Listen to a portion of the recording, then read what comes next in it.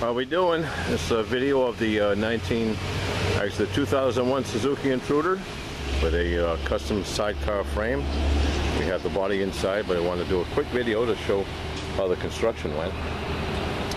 There's actually three three separate pieces here. There's one across the bottom here, which is a frame which ties uh, two points in the front and a couple of points on the back here, and then a brace that goes up to the side, that's that silver thing. Okay, that silver bracket, there's three points on that. Okay, and that's the motorcycle attachment. Here's the frame. This was uh, originally uh, an Ender sidecar made in India. Uh, the frame is very, was a very light duty, uh, suitable for like a 250 to 500 cc bike, uh, very small diameter tubing. Uh, this is inch and three quarter. Okay. The uh, J bracket, I guess it's called, I did uh, salvage from the uh, uh, the other frame because it, it, seemed to be substantial enough and it welded on okay.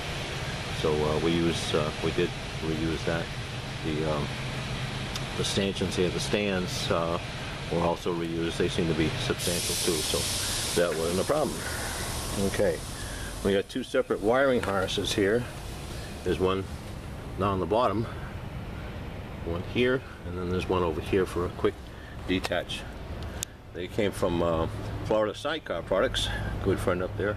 Uh, Mark uh, very helpful good recommendations. He has uh, construction manuals. Uh, this came this uh, frame came from a, construction manual that I got from him a while ago.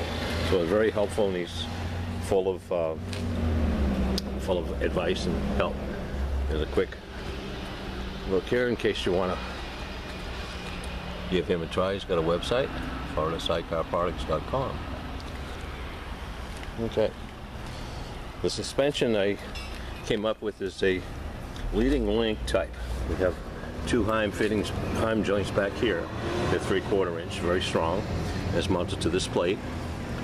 Okay, has a stand for the the uh, rear shock. The rear shock is actually a lowered shock for the 1400 but it seemed to uh, seemed to work out just right for the length and the uh, compliance.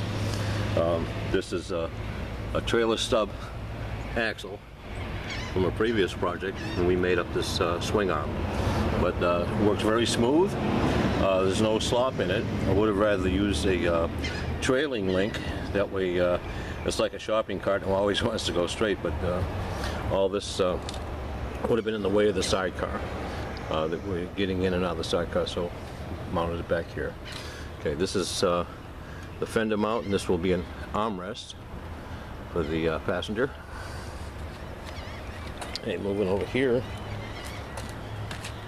this is a 195-50 15 tire mounted on, uh, this is actually a trailer wheel, but it looks uh, as nice as uh, any passenger car wheel around, really nice.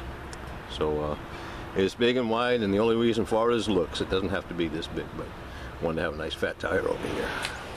Okay.